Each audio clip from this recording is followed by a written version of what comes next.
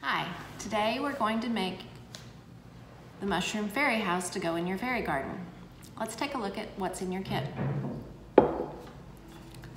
You have your unpainted fairy house, a large cup of number 92 paint, and small cups of number 83 and number 15 paint. You have your brush, and you have a sponge triangle. What you'll need to get is a cup of water and a small bowl or cup to mix up your watered down paint. Let's get started.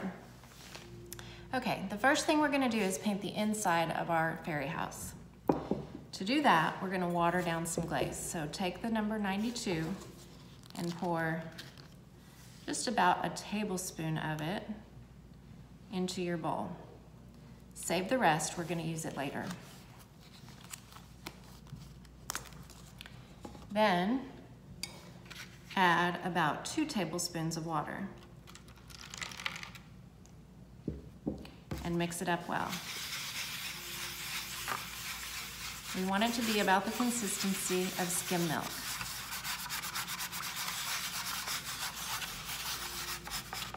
Next, we'll take our fairy house and our paint and go over by the sink. Okay, here we are by the sink. The reason that we're gonna be over here is that we'll need to pour the excess out of the inside after we pour the paint in. There's a hole in the top of your fairy gnome. I want you to put your finger over the top of that and hold. You might need to get a grown-up to help with this, but hold the mushroom with that covered up and with the hole at the top and pour your wa mixed water and paint mixture into the fairy house. And then roll it around until the inside is all coated. Once you have it all coated, pour the leftover into the sink. Make sure to get all of it out. Don't worry if you get some on the outside. I'm gonna show you how to clean that up. Once you have the inside coated with the watered down glaze, take a sponge and dip it in the water. Wring out the excess, and you can wipe off any drips that you got on the outside. Our paints are not permanent until after they've been fired, so it's easy to clean up. Just keep rinsing your sponge and wringing it out and wiping until all the excess is off. The next step, we're going to paint on some dark brown that'll bring out the texture of our mushroom. To do that, we're gonna do that same technique of watering down glaze. So take your number 15 and pour in, again, about a tablespoon.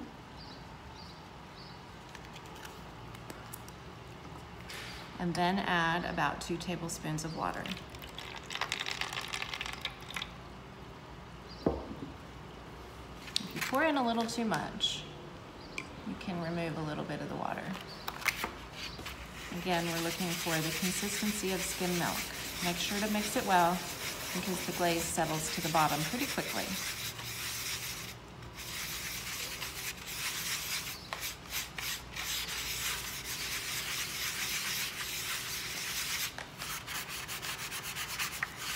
We have it mixed up really well, we want to paint all of this area of the mushroom.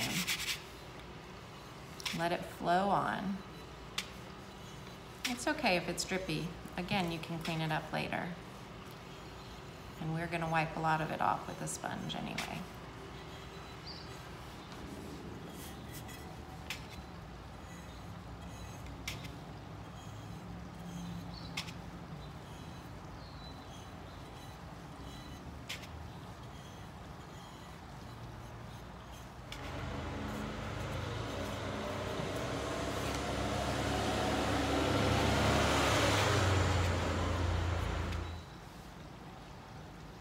The mushroom over so you can do the underside.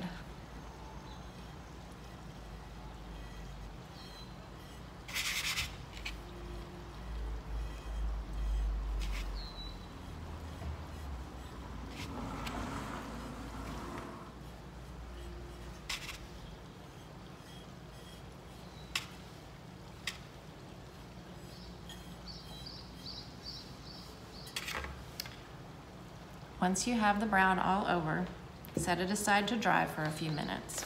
Once the shine is gone, we're ready to go to the next step. Once your watered down paint is dry, get your clean water back and your sponge.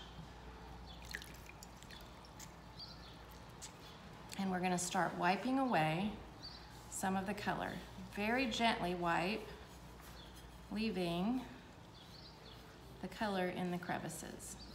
If you take off too much, add a little bit more paint back on and then wipe again.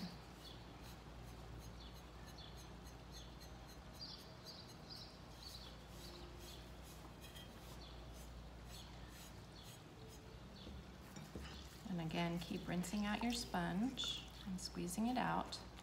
You want a damp sponge and light pressure.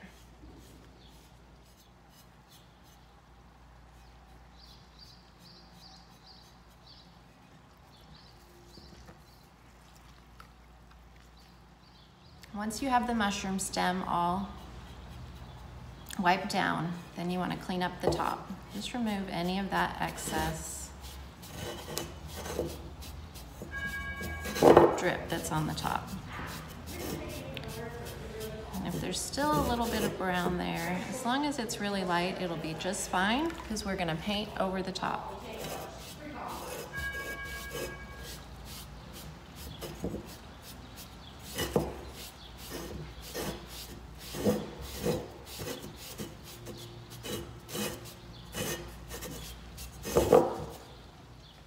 Next, get some fresh water and clean your brush, and we're gonna move on to painting the top of the mushroom. We're gonna paint that with three solid coats of number 92. So if you've ever painted with us before, you know that we recommend three solid coats when you want solid coverage like this.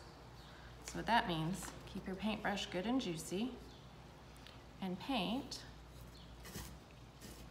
with the brush strokes all going the same direction.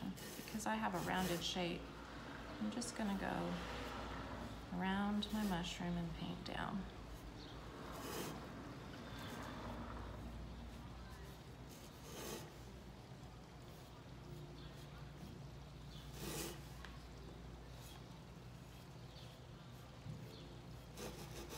If I paint down like this, then I can get a pretty clean edge down here without having to worry about trying to paint a straight line.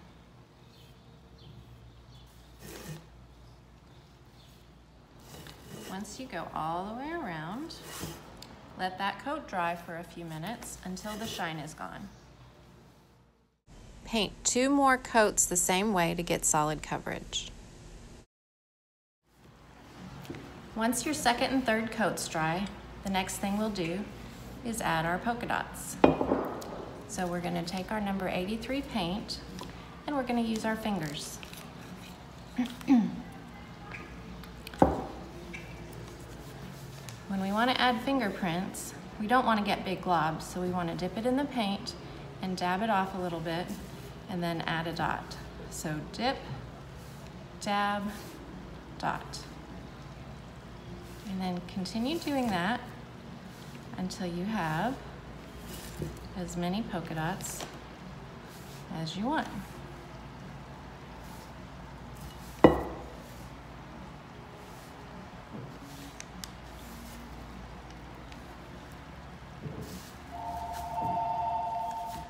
Once you're done with all your polka dots, let your paint dry for 24 hours and then carefully wrap up your piece and bring it back to Color Me Mine for glazing and firing.